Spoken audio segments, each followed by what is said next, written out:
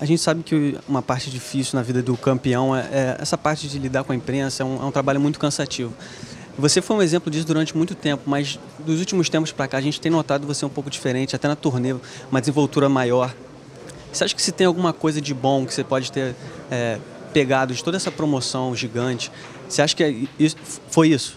Sim, então a gente vai cada vez mais ficar mais experiente, então a gente vai já sabendo onde pisar, né? Então mais ou menos nisso eu venho aprendendo cada vez mais, então essa tour foi bastante proveitosa para o lado da mídia, eu acho que a gente tem que aproveitar também.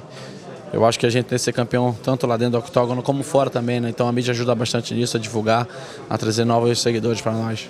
E quando foi o momento que você te deu esse, esse clique de que é, você precisava valorizar isso? A gente viu na turnê um, um áudio que a gente nunca viu. Foi o quê? Foi o Xadu, a presença do Xadu? Foi alguma conversa que você teve com, com o Dedé?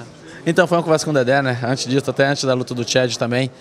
É, como eu falei, a gente precisava vender também esse lado promocional, então procurei fazer um pouco mais, dar uma pimentada cada vez mais, porque nisso a gente possa trazer novos seguidores. Então, nisso que eu procurei fazer, né? Então, nisso que a gente está aprendendo ainda, eu acho que eu estou na iniciação ainda de ser um Vitor futuramente. Há pouco tempo você comentou o acordo do UFC com a Reebok.